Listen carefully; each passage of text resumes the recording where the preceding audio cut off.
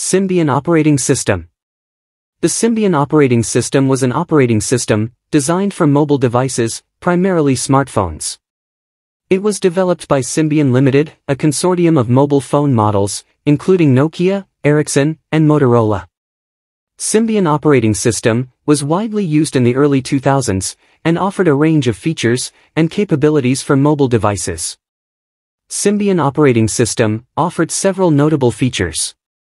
It had a multitasking environment, allowing users to run multiple applications simultaneously. The operating system supported different connectivity options, including Bluetooth and Wi-Fi.